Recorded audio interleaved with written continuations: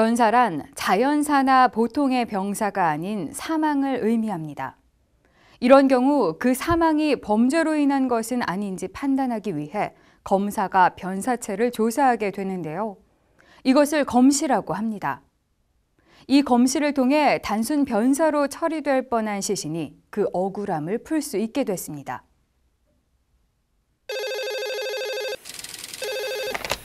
네, 풀어줍니다. 뭐라고요?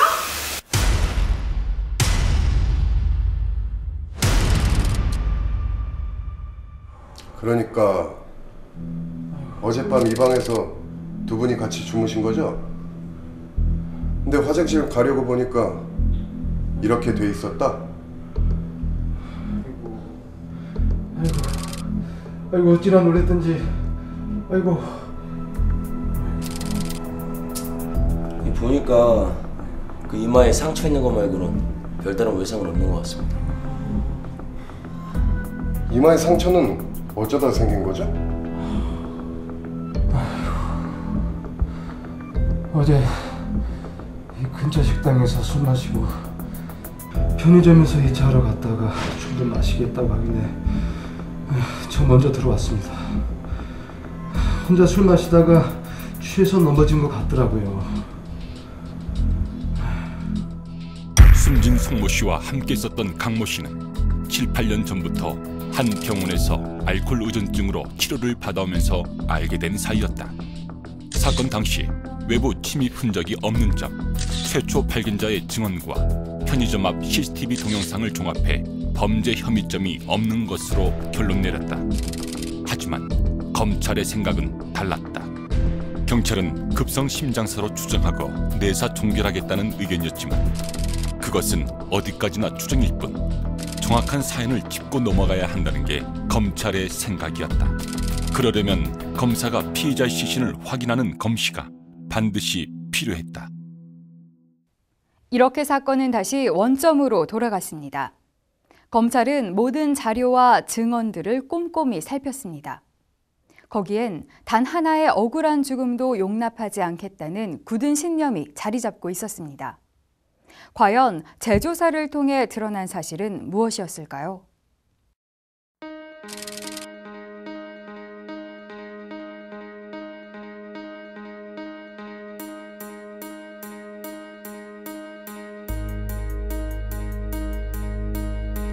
아, 예, 검사님. 예. 아니, 피해자가 워낙 술을 많이 마셔가지고 휘청거리다가 어디 부딪혀서 다쳤겠죠. 아니, 이런 사안에서 꼭 부검까지 할 필요가 있겠습니까? 검사님, 알코올 중독자 아닙니까? 동생을 편히 보내주고 싶습니다. CCTV에서 이상한 점을 발견한 검사는 부검 실시를 사경에 지시한다. 하지만 사경이나 유족은 부검이 불필요하다는 입장이었다. 검사는 범죄 혐의점이 없다는 근거가 된 모텔 종업원의 의견을 직접 청취하기로 결심한다. 그렇다면 그때는 이 왼쪽에 상처가 없었다는 겁니까?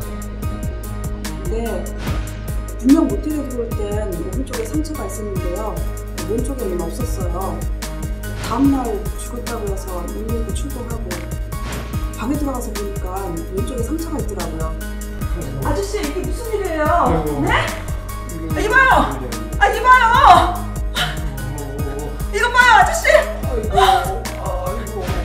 왼쪽 상처는 그때 처음 봤죠.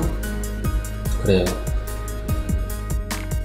모텔 종업원의 진술이 경찰의 진술과 다름을 확인한 검사는 마침내 부검을 실시하도록 했다. 그리고 그 결과 자, 이제 솔직히 말해보세요.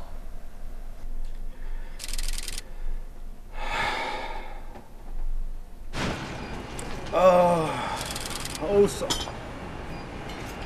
어, 어 피곤해. 어, 야, 나 먼저 들어가야겠다. 너 안 들어갈래? 형 먼저 가. 나 이따 갈게. 좀 이따 와. 아. 아유.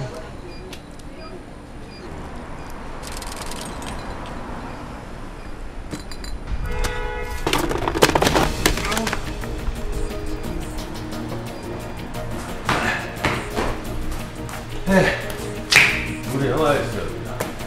어디로 가는 거야? 어디로?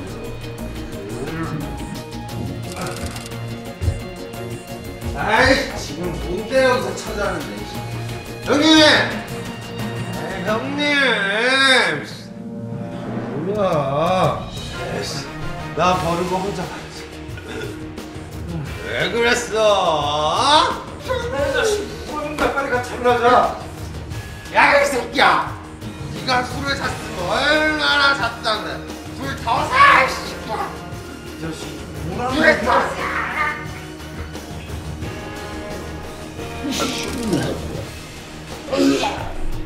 발로 세 번 세게 찼습니다. 세 번째 발로 찼을 땐 동생이 움직이지 않았습니다. 왼쪽 이마의 상처는 어떻게 생긴 겁니까? 저랑 싸우다가 다친 겁니다. 죄송합니다.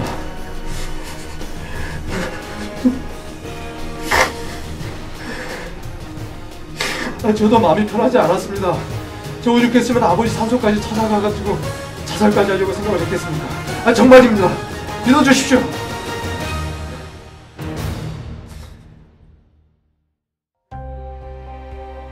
이후 피의자 강 씨는 친한 후배를 죽여 목숨을 끊고 자살까지 생각하였으나 검찰이 진실을 밝힘으로써 오히려 자신의 목숨을 살렸다며 앞으로 죄값을 치르고 않은 심경으로 살겠다는 취지의 감사 편지를 보내왔다.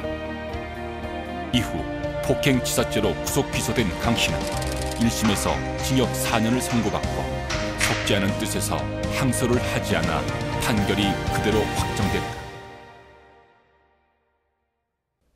알코올 중독자의 단순 급성 심장사로 결론 짓고 그대로 묻힐 뻔했던 사건은 이렇게 사인이 명명백백하게 밝혀지면서 마무리됐습니다. 누구도 관심 가져주지 않는 죽음.